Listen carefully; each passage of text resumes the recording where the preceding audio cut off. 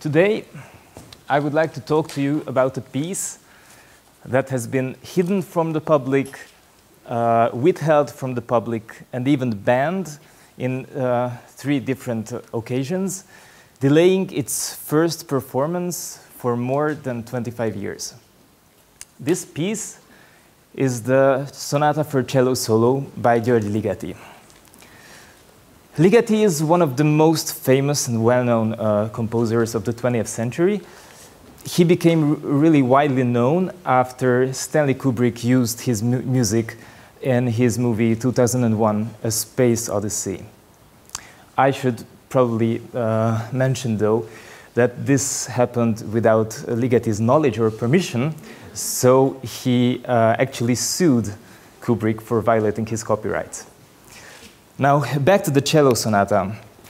Uh, Ligeti was a student at the Franz Liszt Academy in Budapest, um, where he uh, saw a young cellist girl, Annus Virány, uh, who was a fellow student at the Liszt Academy. Uh, he secretly fell in love with her and um, decided to write a piece for her uh, as a love letter.